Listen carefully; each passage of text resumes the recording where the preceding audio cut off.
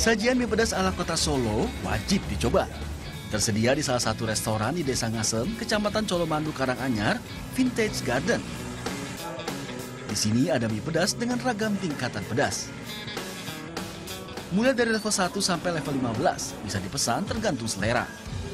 Menu pilihan lain juga ada tengkleng, sop iga, dan sop buntut.